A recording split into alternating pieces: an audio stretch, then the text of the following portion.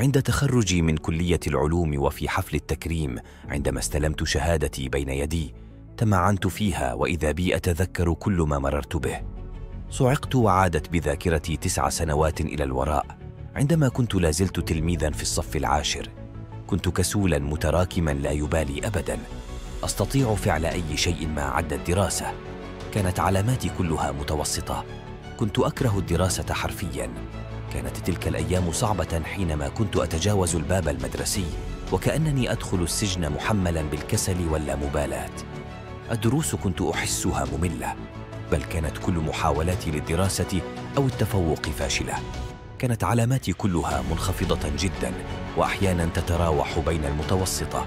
كانت الدراسة عبئا ثقيلا على كاهلي. استمر الوضع أعواما وأنا ألقي حقيبتي جانبا كلما عدت إلى المنزل دون أن أفكر في الواجبات أو المذاكرة. كنت أستبدل الدراسة بألعاب الطفولة واللعب بالهاتف والسهر لكن كل شيء تغير عندما نجح الجميع. وكنت أنا الراسب الوحيد في صفي.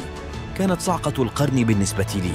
لم أتحمل خيبة الأمل التي أصيب بها والداي. جلست في غرفتي أبكي. نظرت لنفسي وقلت بالله عليك ماذا تفعل يا ولد؟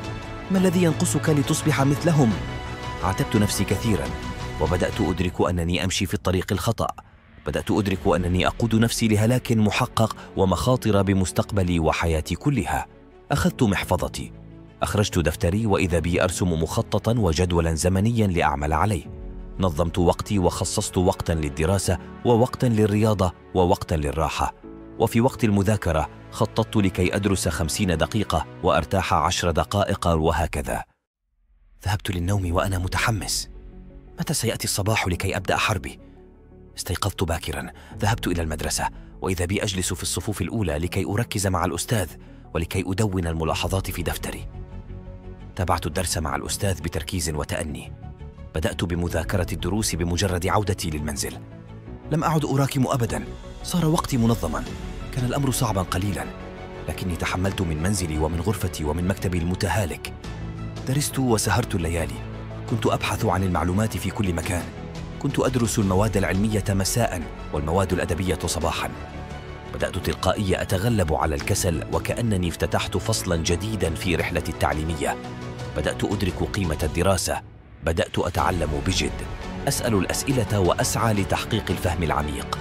تحولت علاماتي تدريجيا إلى الأفضل وأصبح زملائي يشعرون بالدهشة من التحول الذي حدث في نهجي نحو الدراسة.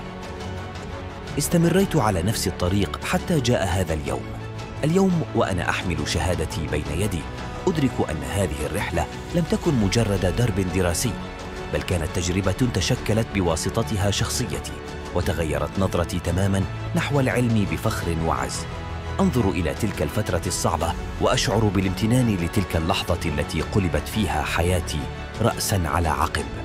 ونصيحتي لكل طالب وطالبة القطار لن يفتك بعد. لديك الوقت للتفوق ولتصل إلى ما تريد. لا تيأس ولا تستسلم ابدا لأنك ستصل يوما ما. حتى لو فشلت لا تتوقف ابدا. حتى لو سقطت ألف مرة فلا تتوقف. دائما اترك املا في حياتك. مهما طال الليل سيأتي الصباح. حتما لا تيأس لأنه حتما سوف يأتي ذلك اليوم الذي سترفع فيه رأسك فخرا بنفسك لأنك استطعت أن تكمل الطريق ولأنك استطعت أن تغير حياتك بنفسك. لذلك أنا أثق فيك وأتمنى لك كل التوفيق. أنت لها.